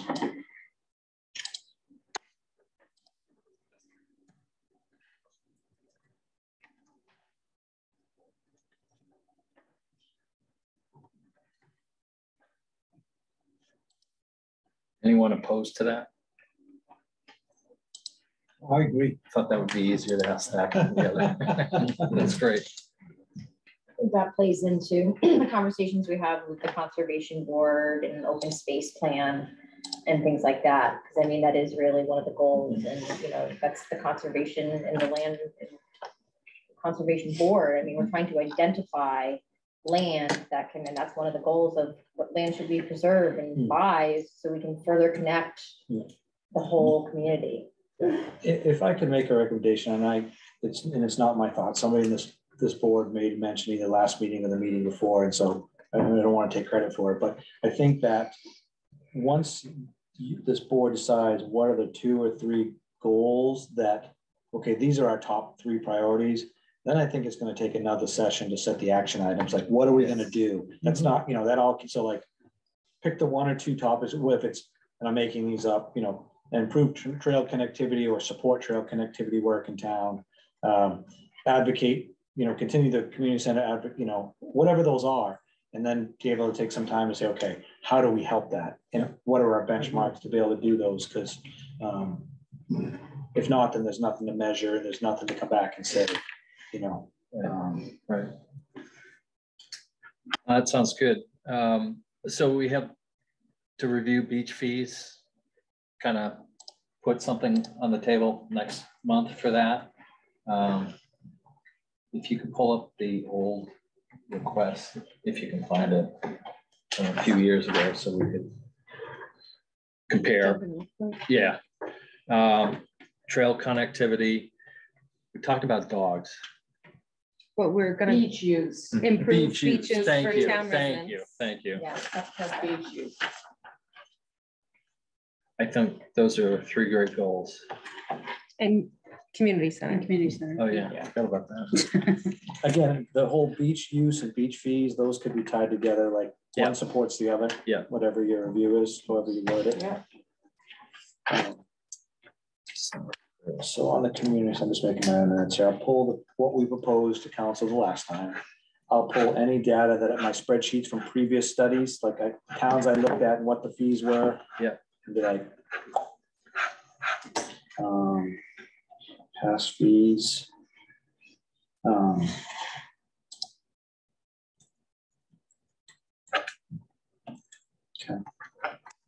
Great discussion. Any new business?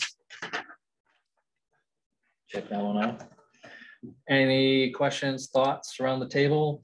Open floor? It's always open floor. Okay, it's dinner time. Um, our next meeting is March sixteenth, same bat time, same bat channel.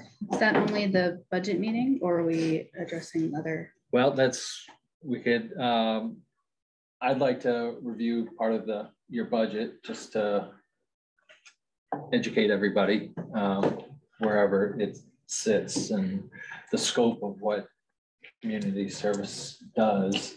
I'm fine doing that. Give me a kind of framework. Like, do you want the ten minute version by division high level? Like, what do we, what do we, I mean, I've got council members for, that have been on the board for four years that it's, you know, where the revenue goes, where, like, how far? The way I do my budget presentation is we have the, the six divisions.